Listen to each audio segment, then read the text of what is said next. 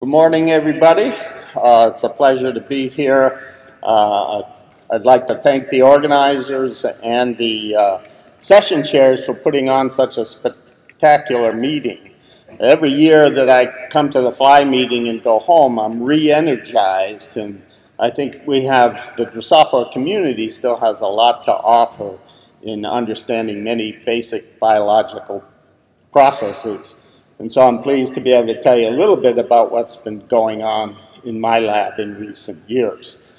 So the title of my talk is a little different from what was in the abstract.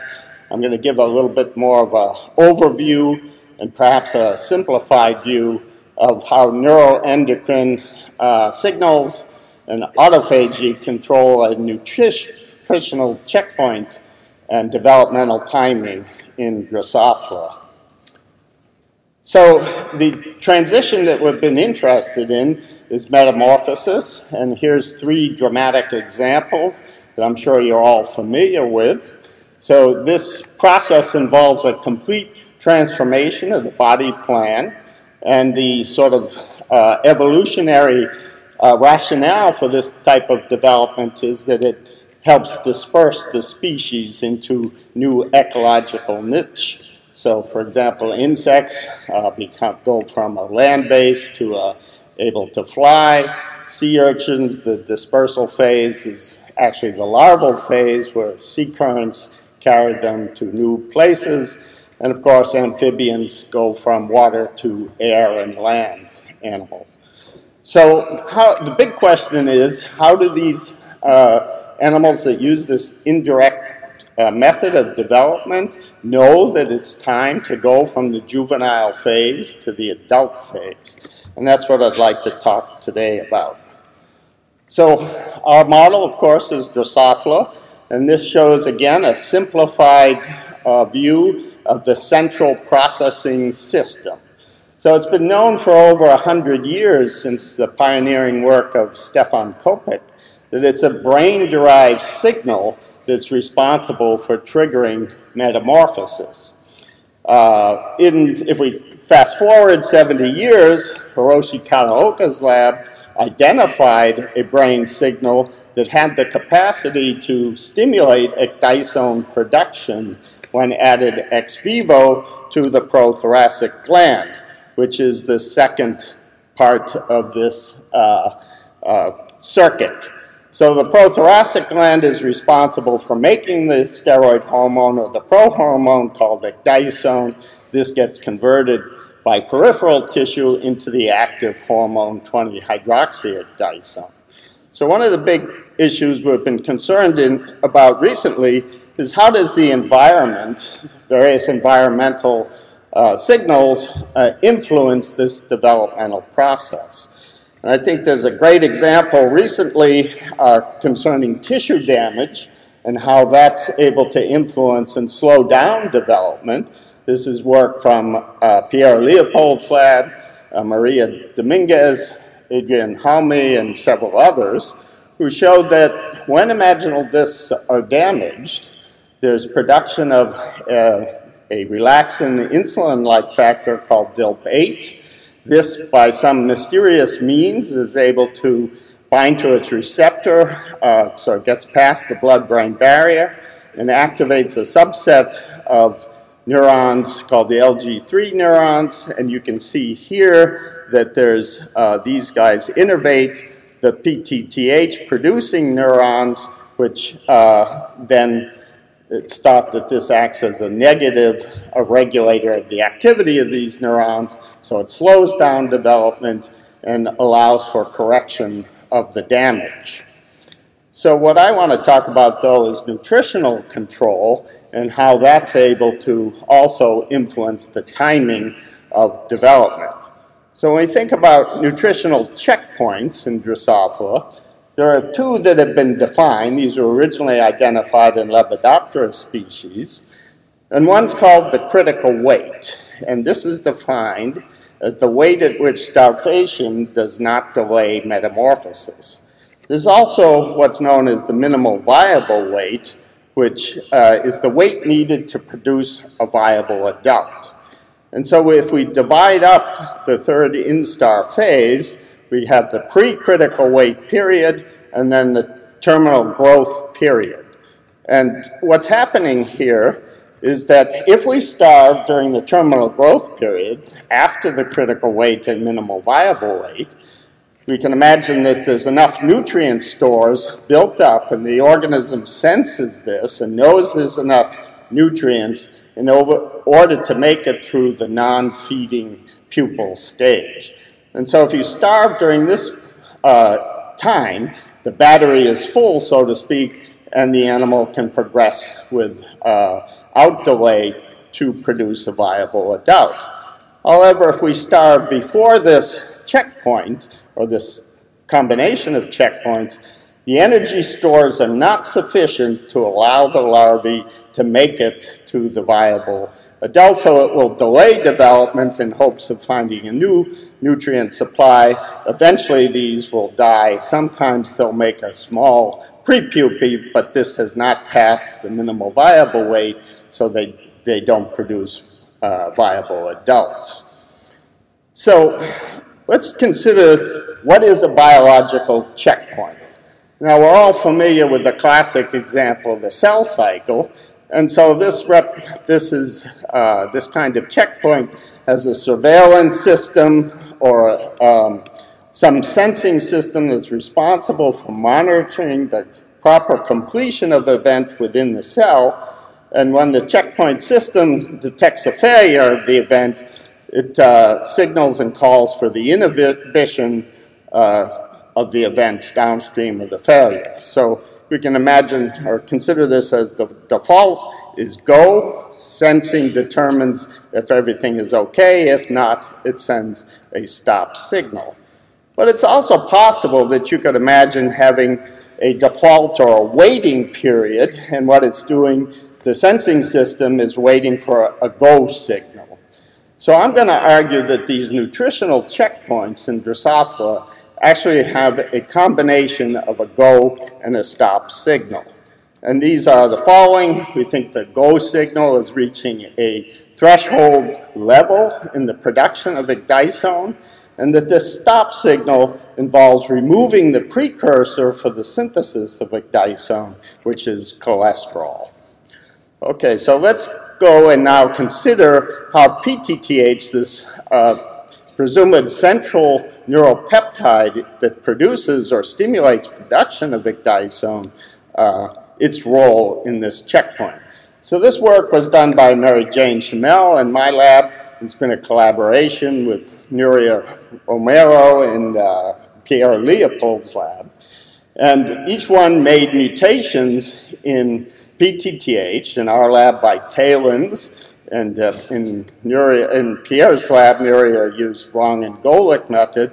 I must say, I think this represents a transition as well because I don't think anybody will ever use these techniques again to make null mutants. Um, the interesting feature of these mutants, if we look at the timing of pupation, so this on the uh, uh, axis here is the uh, percent pupation, and time is along the x-axis, we see that these guys are still able to make pupa, and in fact they make viable adults. They're just slightly larger, and this process only exhibits a one-day delay. It is nutritionally regulated because if we put them on poor food, you can see that the delay increases uh, an extra day, so two days on poor food. So this is uh, kind of striking considering that PTTH was thought to be the key regulatory neuropeptide for stimulating production of ecdysone. But obviously the animals can get along just fine without it. Now, again, if you think about it from an ecological point of view, these animals are delayed, so when you're flies are feeding on an ephemeral food source like rotting fruit, of course they're going to be at a disadvantage. So in the environment, uh, having the PTTH mutant would be detrimental or presumably detrimental for survival. So what about the checkpoints? If we look at the critical weight checkpoint, we see in wild type that it takes about eight hours during the early third instar to reach this transition, and then 35 hours during the terminal growth period. If we look at PTTH mutants, we see that the critical weight checkpoint has been uh, delayed. So now it's about uh, uh, 12 hours um, uh, delayed, and there's also a delay in the terminal growth period. So once again, this tells us that PTTH is not essential for uh, having a checkpoint, but it helps determine when that checkpoint occurs. Now the interesting thing, a number of years ago, we actually ablated the PTTH neurons, and you see, again, but a more striking delay in the setting of a critical weight checkpoint. It's still there, it's just much delayed. So this tells us a couple of things. First of all, because there's this big difference between a PTTH null and the neuron ablated animals, there must be other signals coming from the PTTH neurons that are uh, involved in setting the critical weight checkpoint. Furthermore, uh, in the ablation animals, since they still have a checkpoint, there must be signals that are non-neuronally derived, maybe from uh, systemic signals such as insulin that are involved also in setting this checkpoint. So what's going on? Why are they growing slower? And why is this checkpoint delayed?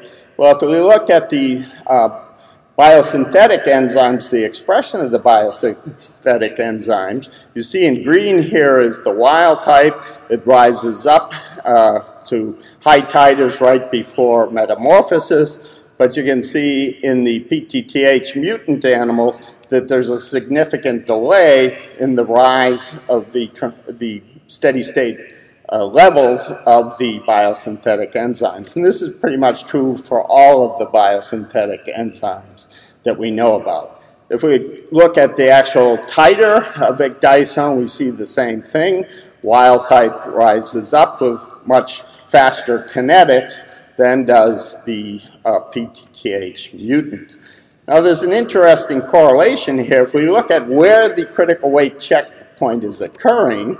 In wild type, it's occurring at about 8 to 10 hours, and in the mutant, it's at about 20, 24 hours. And interestingly enough, this correlates with a sort of threshold value of production or levels of ecdysone of about 8 picograms per larvae. So we're wondering then, is critical weight uh, part of the, the signal reaching a threshold level in the uh, level of ecdysone. So uh, some additional evidence that this is important came from a paper by from Christen Mirth's lab a few years ago, where they looked at the critical weight checkpoint when they feed the animal at ecdysone. So this is known as breakpoint analysis here. Again, we're looking at the time to pupariation and the age at which you starve the larvae. So this checkpoint is defined by starvation. So you see at these early times, the, in wild type, there's no pupa able to form. Then as you get closer to the checkpoint, you see some pupa forming, but ve with very delayed timing.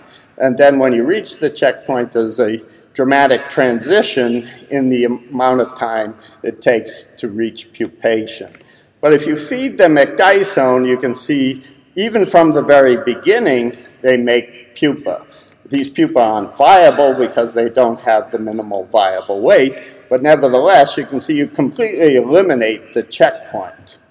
So another, I think, important paper came from Kim Rewitz's lab, who showed that after the critical weight checkpoint, there's a feed-forward mechanism that involves ecdysone and the ECR receptor, and so this helps ramp up the production of ecdysone, and that this likely, uh, once you reach that threshold level, is able to self-sustain itself, and that's part of the uh, reason that uh, after the checkpoint, starvation does not influence the time.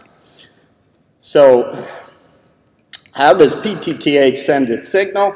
Uh, this was uh, worked out by Kim Rewitz when he was a postdoc in my lab. He identified torso as the receptor for PTTH. This signals to a MAP kinase cassette. and ultimately controls the conversion of cholesterol to ecdysone. But how does it do that? Um, obviously, there's likely to be some transcription factors that might be phosphorylated by ERK, but at the moment we really don't know which they might be. The best one so far was identified by Kirst King-Jones, who showed that the nuclear receptor DHR4 cycles into the, out of the nucleus in the PG gland, and this is dependent on torso and PTTH signaling. However, the direct targets for the biosynthetic enzymes are directly regulated by DHR4 is not known. But another interesting possibility is a paper from uh, Naoki Yamanaka's lab who showed that there's a correlation between nutrient-dependent endocycling and the timing of metamorphosis. So it turns out that critical weight represents a transition between 16N and 32N in the DNA copy number in the PG gland. So this provides a mechanism by ramping up the number of templates the transcription can occur on to help in the production of ecdysone. So we were curious whether perhaps PTTH might be also working to influence endocycling. And so this, we took advantage of some genetic tricks to produce uh, glands in which one side is innervated, so you see the varicosities of the PTTH um, uh, neurons uh, projecting onto the PG gland, and on this side, it's not innervated, and you can see that there's a substantial difference in the size of the nuclei. And that this is PTTH is shown here because in a PTTH null mutant, the nuclei are size is independent of whether there is innervation or not. Well, as in the heterozygote, the innervated side is bigger than the non-innervated side. We can also see that the cells, the individual PG cells, the innervated cells produce more of the biosynthetic enzymes than do the non-innervated cells. So again, consistent with the idea that uh, perhaps the endocycles are important in producing the high level biosynthetic uh, enzymes.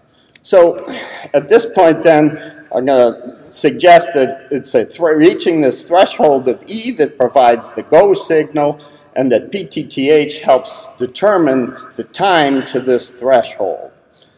So what about uh, a stop signal? Is there also a break in this system that's part of the checkpoint control? And so I would suggest that there is. Let's go back to these definitions. And the central, or the key uh, uh, component here is that these assays rely on starvation. So we generated a hypothesis that perhaps it's differential induction of autophagy in the PG and that this is the functional mechanism responsible for delaying metamorphosis. So we decided to look at that. Well, first let's just review the basic uh, features of autophagy. It's a nutrient-controlled process which involves formation of an isolation membrane. Uh, ATG8 I'm going to use uh, as a marker for the formation of these autophagosomes which engulf cytoplasmic and organelles, and then after fusion with the lysosome, allow for degradation of those components to help with uh, nutrient supply. Now, it's been known that autophagy occurs in endocrine tissue in other systems, but it's not clear what it does there. So we looked both pre and post critical weight at the level of of autophagy that can be induced by starvation. And what you see here is that pre-critical weight, as well as post, under the fed condition, there's a number of these very large uh, vesicles that are marked with ATG8. But after starvation, but only pre-critical weight, you see that these seem to break down, and there's a lot more of these very small puncta. Post-critical weight, again, there does not seem to be the ability to induce the formation of these small puncta. Uh, and this is quantitated here, and you can see that there's a general decline in the ability with time to produce these uh, small vesicles. We look to see whether all the ATG8 genes are, re are required for this process, so is it really autophagy? And we can see that knockdown of most of the components do produce a reduction in the level of formation of these puncta. But we think this is a, a non-canonical form of autophagy, and part of that comes from when we looked at live imaging. Um, you can see that there's this tubular network, very dynamic network that forms in these cells upon starvation. Also, there's several different component, types of dynamic uh, control here. Uh, we see these large puncta seem to be able to be um, um, uh, split up and uh, that uh, they lose their contents, and it seems to be via um, depletion via these tubular networks. We also see some unusual ring-like structures, we don't know what these mean at the moment, that also come out of these large vesicles. So what about uh, um, critical weight control, we see that if we knock down the ability to form these vesicles by either knocking down ATG1 or overexpressing an activated form of Rheb, which uh, will affect TOR signaling, that we shift the formation of critical weight, and in case of Rheb, there is no critical weight at all. This is just like feeding a ecdysone. But more importantly, you see up here that normally at early times we can't form pupa. We now begin to be able to form pupa in the, uh, when we knock down autophagy.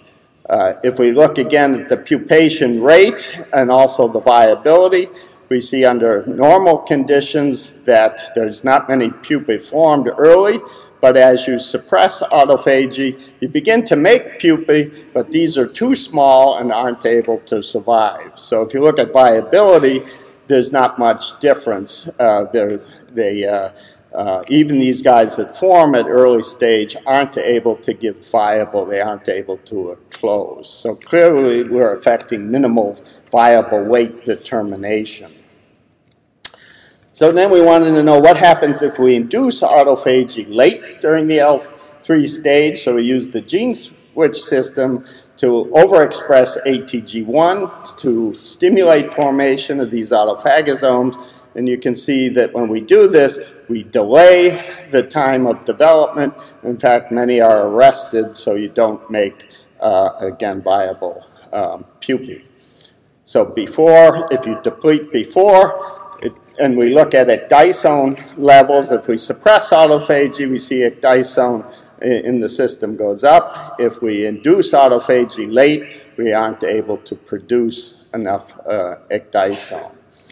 So open questions at this point. What is it that's sequestered, degraded, or perhaps secreted by the PG uh, autophagosomes? Is it biosynthetic enzymes, mitochondria, ER, where the uh, enzymes are located? Is it signaling components such as torso insulin receptor? Is it an ecdysone itself? Or is it perhaps the precursor cholesterol? And the second is what shuts down autophagy post-critical weight. So we looked at expression level of biosynthetic enzymes, and as you can see here, there doesn't appear to be any apparent reduction when we stimulate autophagy. However, when we look at cholesterol distribution, we see that cholesterol is co-localized with these autophagosomes. It also co-localizes with NPC1, which is a known trafficking component for cholesterol. So the key experiment then was to ask if we induce autophagy late, which delays development, then uh, feed these guys cholesterol, you can see that it completely rescues the developmental delay, and these are viable. So what about the issue of what blocks autophagy after critical weight? And this makes sense because you don't want to uh, waste the time getting rid of the biosynthetic uh, uh, capacity of the gland once you have enough nutrient stores. So it's important probably that you shut this down after you go past critical weight. And one thing that we noticed was that there was a, uh, an enrichment of uh, different uh, receptor tyrosine kinase, ALK, which codes for the, or is the anaplastic lymphoma kinase, and it localizes to the pre uh, PG cell surface post-critical weight, and we can knock it down with uh, RNAi, and you can see that its distribution is gone. So we wondered if it was a signal provided by ALK that was involved in the shutdown. So we looked at what happens when you lose ALK post-critical weight. If we deplete it, you can see that now you can induce autophagosome formation. And likewise, if we do the converse experiment where we activate ALK pre-critical weight, now you prevent the formation of these autophagosomes. So this is consistent with this signaling system being involved in shutting down autophagy. And lastly, is the ligand, which is jelly belly, produced uh, by the PG neurons. And you can see here that we see nice co-localization of JEB with the, in, within the varicosities that, express, that have PTTH. And again, if we knock down the signal um, with RNAi, this uh, um, JEB production within these neurons is eliminated. So let me summarize then what I've told you. PTTH has helps set the nutritional checkpoint. There are multiple inputs that control both stop and go signals at the nutritional restriction checkpoint. The goal signal we propose is a threshold of production in E followed by a feed forward mechanism dependent on ECR. The stop signal is a tissue-specific, temporally controlled activation of a non-canonical autophagy and we propose that this autophagy alters cholesterol flux to rapidly shut down hormone production in response to nutrient restriction. And finally, that the JEB-ALK pathway turns down autophagy after the nutrition restriction checkpoint. So with that, I'll finish up and just acknowledge the people who did the work. Uh, Mary Jane in my lab and Nuria in Pierre's lab did the PTTH work while the autophagy was done by a very talented graduate student, Xueyang Pan. Thanks so much, very much uh, for your attention.